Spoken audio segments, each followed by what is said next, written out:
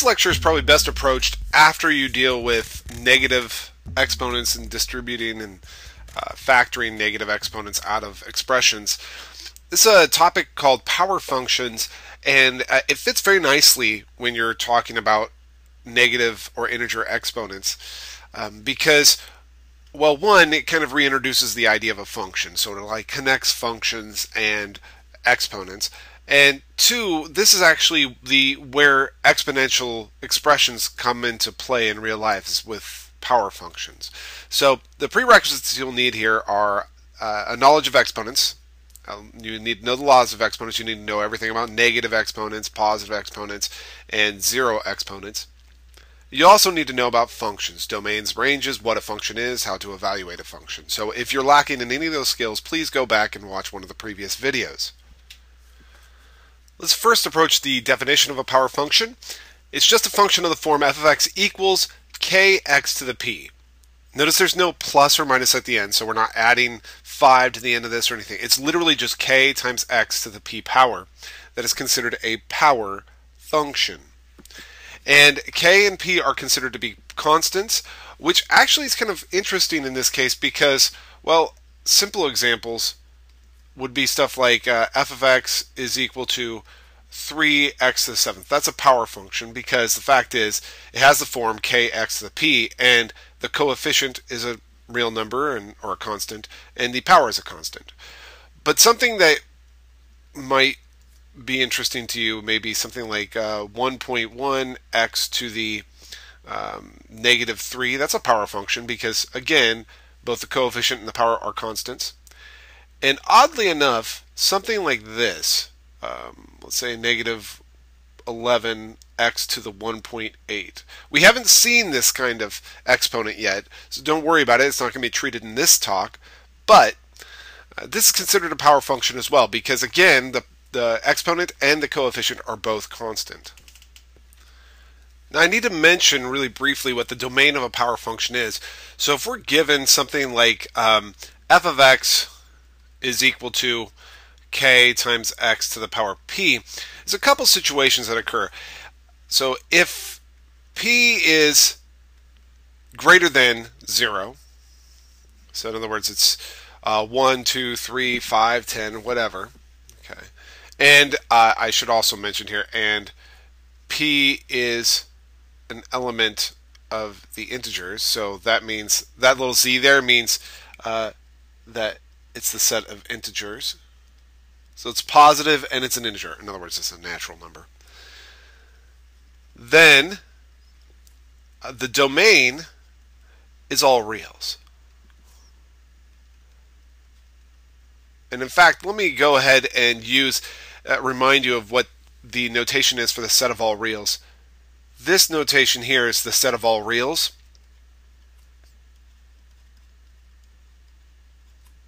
And so therefore you kind of see why that z with a little bar in it might be a set of numbers as well because when you have that extra little bar we generally use that for a set of numbers. Now I have the, it is a kind of a subtle distinction that um, the number, the power p has to be like 1, 2, 3, 4, 5, 6, 7, 8, something like that for the domain to be all reals. It can't be 1.1 or 1.5 or anything like that because there is a, a little issue with that that we'll discuss later on. But as long as it's a natural number, like 1, 2, 3, 4, 5, the domain of our power function is all reals. Now, if p is less than 0, and again, p is an integer, so in other words, p could be something like negative 1, negative 2, negative 3, negative 4. Then uh, the domain is a set of all reals not including 0. So it just can't be 0. And the reason why is because, for example, think about a power function that looks like this, 3x to the negative 7. Well, that's the same thing as saying 3 over x to the 7th. Now you can easily see remember the domain is set of all values that we can plug in. I definitely cannot plug in zero because I'd be dividing by zero. So that is that's an issue. That's why our domain is restricted if our power is negative. So one way you can easily remember this is that there really is no restriction unless you're dividing by zero. And you get to divide by zero, or you don't get to, but you're forced to divide by zero at some point if you're dividing by a variable. So just know that negative exponents mean that you're going to be dividing by a variable. Now really, there's only a few examples we have to take in this lecture to really consider what a power function is. Um, because the evaluation of a power function works just like evaluating any function. You plug a number in, you get a number out. But let's take a look at what is a power function. Of these examples, one, two, or three, or four of them might be power functions. Let's take a look if they are of the right form. In fact, let me go ahead and add one more in here now that I'm thinking about it. I'd like this m of, let's just do m of x, is equal to 3 uh, x to the 17th minus 4. All right, so part A. Is that a power function? Well, it's a linear function. It definitely is a linear function because when I graph this out, I know it's going to be a line. It's mx plus b format. But it's not a power function. The reason why it's not a power function is because uh, it has this additional little plus one on the end. In other words, it's almost like y equals um, k t to the power p. The problem is that we have this illegal operation on the end of a plus 1. That doesn't work out. That's an issue. So we can't have an addition or a subtraction on the end for it to be considered purely a power function. On this next one, the question is, is it of the form y equals some number times the variable to a power? And it is. We see this number here is 3 and the power here is 14. So yes, this is definitely a power function. The next one, example C, is that a power function? Well, let's see. Is it of the form y equals some number times the variable to some power? And I see the number out front is pi. Remember, pi is a number. It's not a variable, it's a number. And the power here is definitely a number because they, they write down as negative 11. So that is definitely a power function as well. The next one, is it written as y equals some number times the variable to a power? Well, it does have a number out front. That's a 14. Whoops, I was going to write a 17 there for some reason. And But unfortunately, the power is a variable in this case. This is not a power function. This is a different kind of function that we'll experience or run into later on. So this is definitely not a power function. Even though it has a power in it, that's what's deceiving about it. It has a power. It often gets confused as a power function, but if your power is a variable, it's not considered a power function. And finally, this last one, is it of the form y equals some number times the variable raised to a power? Well, we do have a number, 3. We do have a power, 17. But we also have this additional little minus 4 at the end, which is not what we wanted. We don't want a minus 4 at the end. So this is also not, or no, it is not a power function.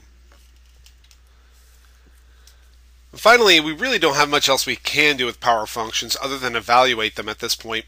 So somebody might ask you to evaluate a power function at a value. That means just plug in the value, right? So our input here is a negative 3 fourths. And again, recall the strength of function notation is that not only do you get to see an output when you get to an answer, but you also can see what you plugged in to get that output. This is telling me what my input was, and then when I do a bunch of work, I'll find out what my output is for that given input. So that's the strength of, of function notation. Again, follow the order of operations here. On the inside of the parentheses, if I can simplify that, I will, but I cannot. So the next thing I do is go outside the parenthesis and apply that negative exponent. So in other words, I flip the fraction.